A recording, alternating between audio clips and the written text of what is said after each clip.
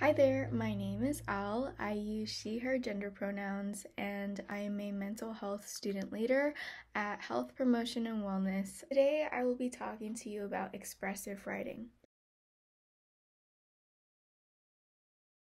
Expressive writing is one of the many forms of self care that you can do in order to make time for yourself. Expressive writing creates an opportunity for us to take a momentary step back from whatever it is that may be going on in our lives in order to reflect and check in with ourselves. It allows us to make time to elaborate on what it is that we are feeling and give space for ourselves in order for us to become active listeners and creators and manifestors of our lives as opposed to passive viewers.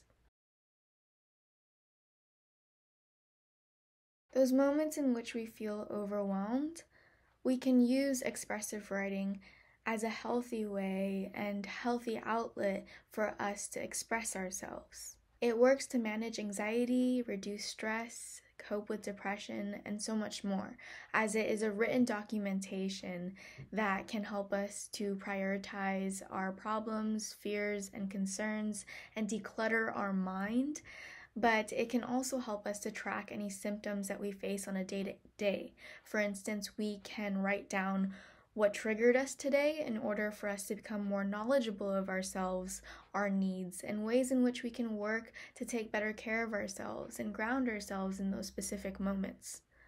It can also provide a space in which we can track any repetitive negative thoughts and behaviors that we may have towards ourselves and provide room for us to write affirmations, write goals, and manifest those goals. These are just some ways in which expressive writing can work to serve us and our mental health journey, but there are many other ways in which you may find that it helps you as well.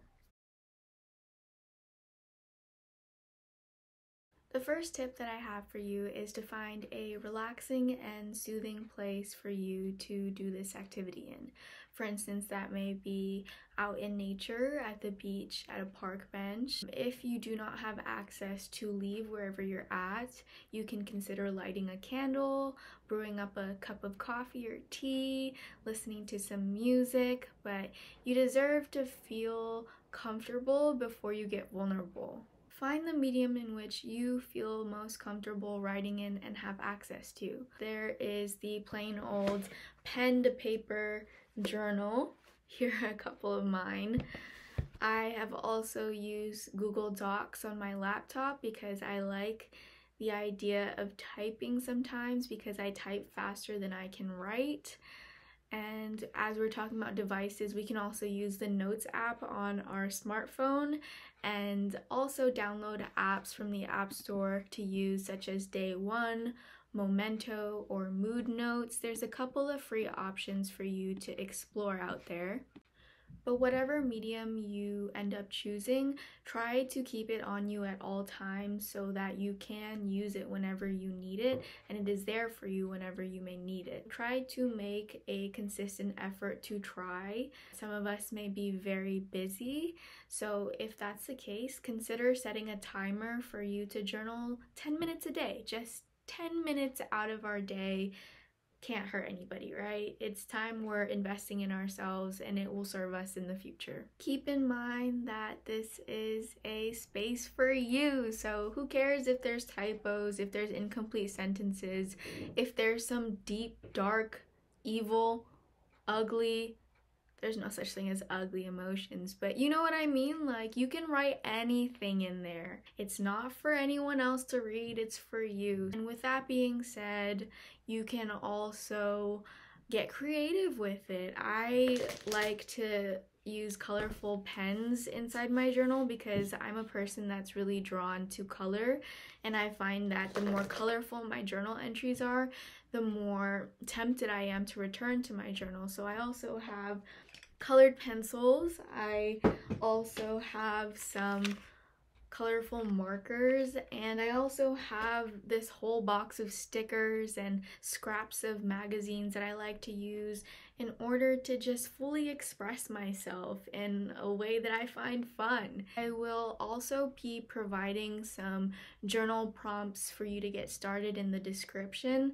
For me, sometimes I use prompts from conversational toolkits that I already own, or I write about what happened in my day, or I write about something that pissed me off, or I write about things that I'm grateful for. It really differs, and if you prefer to have some guidance on how to get started, do check out what I write in the description box. I hope that this video was insightful and inspiring.